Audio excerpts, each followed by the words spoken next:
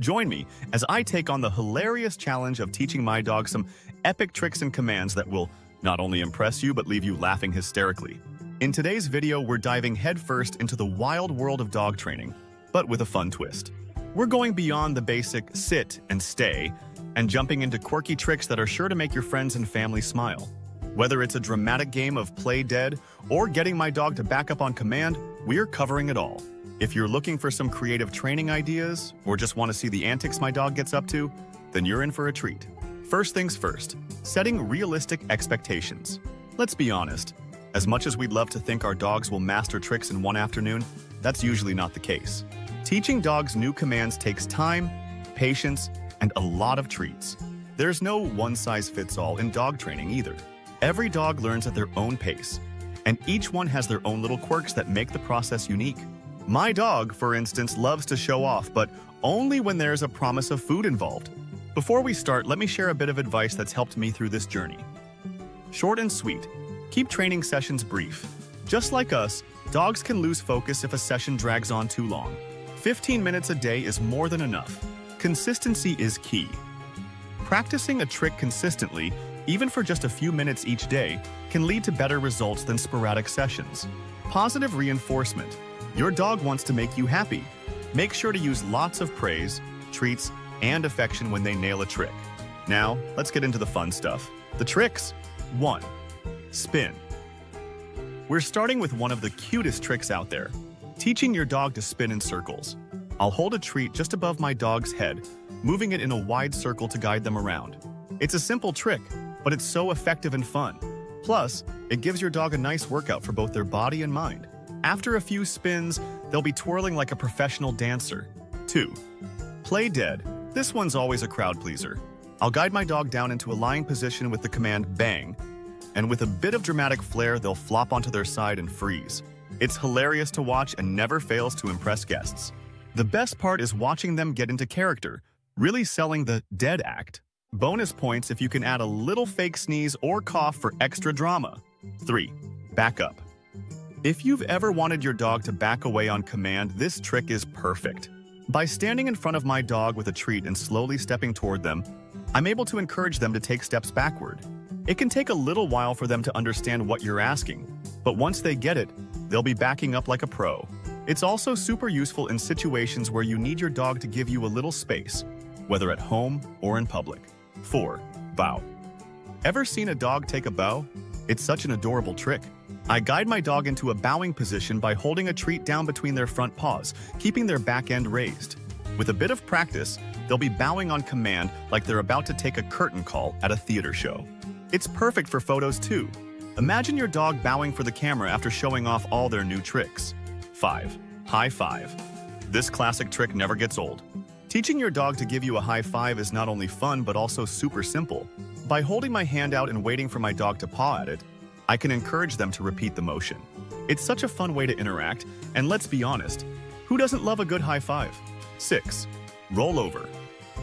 Rolling over is another iconic trick that dogs of all sizes can learn. With my dog lying down, I'll guide them over with a treat, encouraging them to complete a full roll. It takes a bit of patience and timing, but once they get the hang of it, it's a trick they'll want to show off over and over again. Watching my dog roll around, belly up, is always good for a laugh. If you have liked the video so far, please consider subscribing. 7. Peekaboo.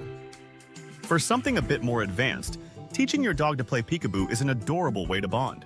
I'll position myself with my legs slightly apart and call my dog to come between them. On cue, they pop up between my legs as if to say, surprise. It's a heart-melting moment every time and one of my personal favorites to teach. 8. Fetch the remote. Now, this one is a game changer for lazy afternoons. Teaching your dog to fetch specific items, like the TV remote, is not only practical but hilarious too. I'll start by teaching my dog to recognize the remote and then encourage them to bring it to me. It's definitely a more advanced trick, but if you can get your dog to fetch things for you, they'll become the ultimate furry assistant. 9. Fetch the leash. Ever wished your dog could bring their own leash when it's time for a walk? I'm teaching my dog to fetch the leash on command. I start by showing them the leash and associating it with walks, which they already love. Then, by placing the leash within their reach and using a simple command like leash, I reward them every time they bring it to me. It's a trick that's practical and makes prepping for walks a breeze. 10. Say hello, bark on command. Teaching your dog to speak or bark on command is not only a great way to entertain, but also useful in certain situations. By pairing the word speak with a hand signal and some patience, your dog will start barking on cue in no time. It's particularly fun for greeting friends or as part of a routine. My dog, who's usually quiet, Saye gets a kick out of saying hello to guests, which always makes for some great laughs. 11. Cross paws. For a sophisticated touch, I'm also working on teaching my dog to cross their paws while lying down. Using a treat, I guide their paw across their body and reward them for holding the position. It's a subtle but super cute trick that makes for perfect photos and really showcases your dog's elegance. 12. Shaping behavior with gradual steps. Shaping is a technique where you reward your dog for small steps toward the final behavior you want. This is particularly useful for more complex tricks. If you're teaching your dog to roll over, you'd first reward them for lying down, then for shifting onto their side, and finally, for completing the roll. This method helps break down large, complicated tasks into manageable parts, making it easier for your dog to succeed. 13. Capturing natural behaviors.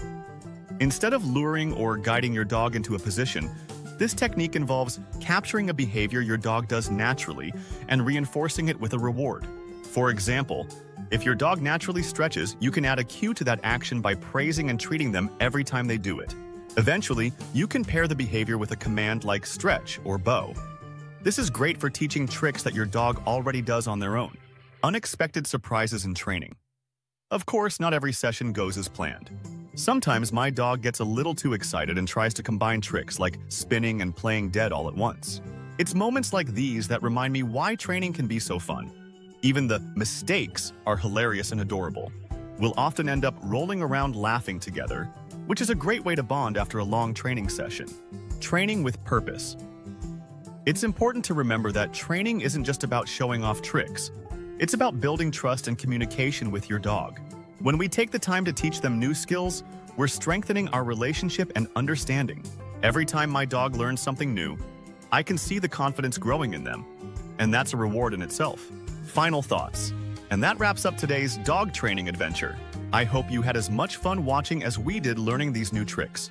Whether you're teaching your dog to spin, play dead, or even fetch the remote, remember that the key to success is patience, consistency, and most importantly, having fun together.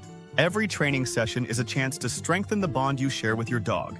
So celebrate every small win along the way.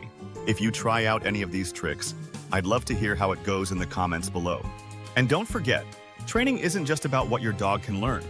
It's also about building trust and creating memories that last a lifetime. Make sure to check out my other videos for even more tips and tricks, and if you haven't already, hit that subscribe button to stay up to date on all things dog training. Thanks for watching, and until next time, keep having fun with your furry friend. Thanks for tuning in to today's training adventure. I hope you enjoyed watching my dog's hilarious attempts at these fun tricks. Don't forget to give them a try at home, and let me know in the comments how your training sessions go. I'd love to hear about your experiences. Also, don't forget to check out my other videos for more dog training tips, and hit that subscribe button for even more content. Happy training, and I'll see you in the next video.